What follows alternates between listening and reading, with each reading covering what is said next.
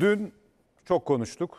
Tahminim o ki önümüzdeki aylarda da çok konuşacağız. İnşallah daha da çok konuşmamızı gerektirecek şeylerden biri de e, Abdülhamit Han gemisinin görev yerinde yeni keşifleri olur. O uğurlanma aşamasında öncesinde hatta filoya katıldığından beri de Yunanistan'dan da bu konuyla ilgili ardı ardına haberler hep yapıldı. Aslında Abdülhamit Han gemisinin göreve çıkması ile ilgili bütün dünya medyasında öyle ya da böyle haberler vardı ama en çok Yunanistan üzüldü tabii ki. O da haberlerine, manşetlerine yansıdı efendim. Dünyanın sayılı 5 gemisinden biri olan Abdülhamit Han görev yerine ulaştı, Yunanistan panikledi. Ege ve Doğu Akdeniz'de provokasyonlarına devam eden Yunanistan'da Abdülhamit Han'ın seferi manşetlerdeydi.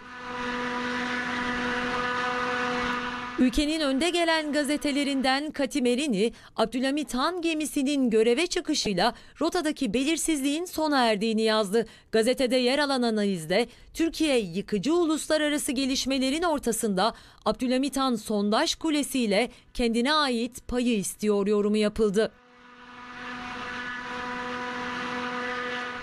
CNN Yunanistan geminin göreve başladığı tören için Erdoğan güç gösterisi yaptı yorumunda bulundu. Manşette yayınlanan haberde yeni Türkiye meydan okumasına Atina'dan soğukkanlı yanıt Erdoğan'ın bayramı sondaj kulesiyle başladı. Kimsenin iznine ihtiyacımız yok ifadelerine yer verildi. Yunan Tanea gazetesi Abdülhamit Han sondaj gemisini Türkiye'nin en modern, en güçlü gemisi olarak tanımladı.